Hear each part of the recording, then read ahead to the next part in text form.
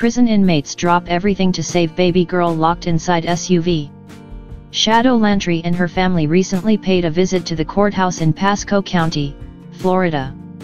Her partner strapped their daughter into the car seat in their Chevy Tahoe, then tossed the keys up toward the front. It wasn't until Shadow closed the doors that the family realized the SUV had suddenly locked itself.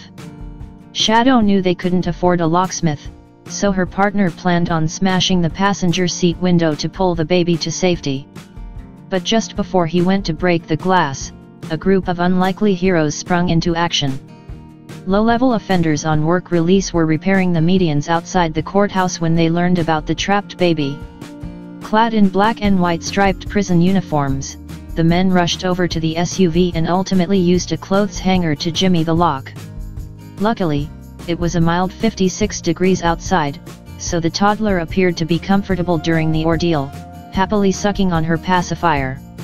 Shadow stood back and watched the inmates, recording the surprising scene for Facebook. The clip went viral with thousands of views. Pasco County Sheriff Chris Nocco said it's not every day that an inmate is allowed to use his or her skill set to break into someone else's vehicle. There's only a very small percentage of those criminals out there that want to fight us and want to attack us, he told told WFTS, but a lot of them, like these individuals, they know they made bad mistakes, bad choices, but they want to do the right thing in life. As one Facebook commenter says, compassion comes from all walks of life. Thank you to these amazing strangers for saving that sweet baby girl.